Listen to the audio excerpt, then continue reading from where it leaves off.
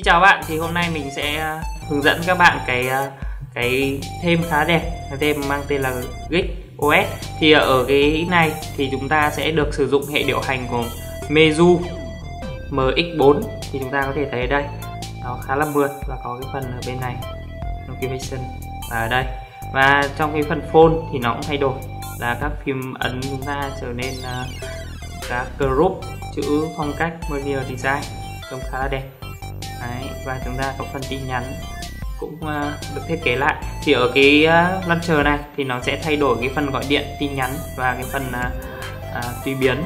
Như các bạn có thấy đây thì nó cũng thay đổi một chút ít và nó khá đơn giản thôi. Chúng ta chỉ cần lên download cái phần mềm mà mình đã đính ở dưới phần tiêu tả.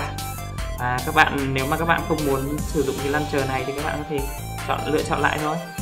Đấy, hoặc khi nào muốn uh, uh, dùng thì các bạn có thể ấn vào. Đây launcher này khá là vui. Đấy, đơn giản vậy thôi. Và bài hướng dẫn của mình đến kết thúc. Cảm ơn các bạn theo dõi video. Xin chào và hẹn gặp lại.